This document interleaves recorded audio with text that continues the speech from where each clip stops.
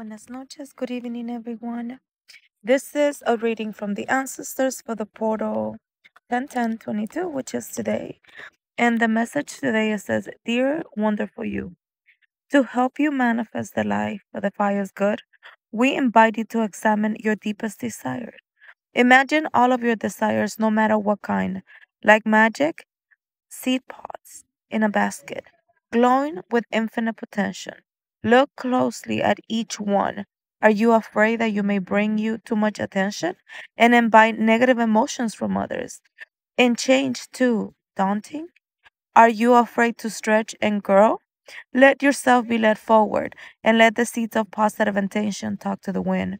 Your desires count and you are worthy of them.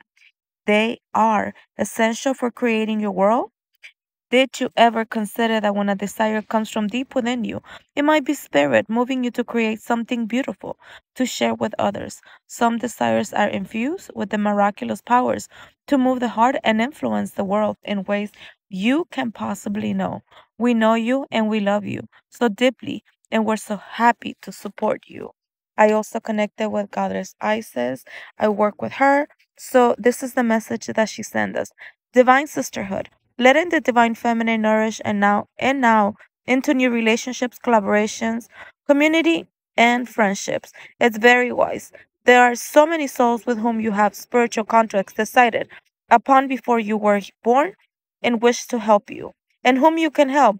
So ask you too, and they wish to help you grow in peace and light and more wisdom. So what I see here is trust with going, get clear with your desires, connect to new people. Be open to adventurers. The yellow is believe in yourself. The green is connect to your heart. And remember that every single day you have the opportunity to create your reality. A wonderful new experience. It's ready to come into your life. Be open to joy. Speak your truth. Manifest from the heart.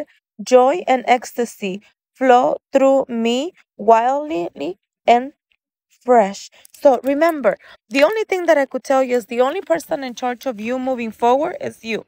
And I actually decided to turn them around, and you got your highly intuitive, trust in yourself flow. The glory of the universe flows through you because the outcome that Goddess Isis says abundance of so this. Abundance in many forms, it's increasing and flow to you. Continue to do good Work on building channels through which abundance can be delivered to you. Freely share your talents, love, wisdom, and self. Enjoy the abundance responsibly flowing to you in many forms over and over again. Portal 10.